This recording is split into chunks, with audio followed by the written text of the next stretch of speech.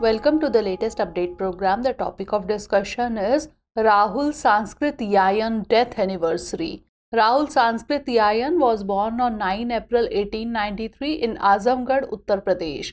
His life was an accumulation of myriad experiences and knowledge which he penned down for posterity. Regarded as Mahapandit, this great scholar also contributed to the freedom struggle. Rahul Sankrityayan's religious quest took him on spectacular spiritual journeys. He knew nearly 30 languages and could speak, read, and write with great facility, more than a dozen of them, including English, French, German, Tibetan, Sanskrit, Pali, Urdu, Persian, Arabic, Tamil, and Russian, almost always wrote in Hindi. He was lauded for his extensive knowledge in Indology and was also a celebrated patriot.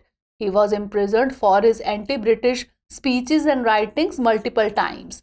During the First World War, he tried to involve the peasants in the non cooperation movement.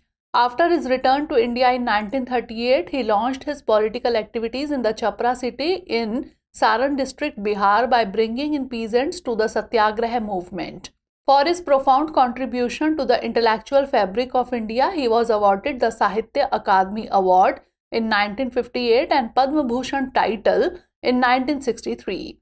He breathed his last on April 14, 1963.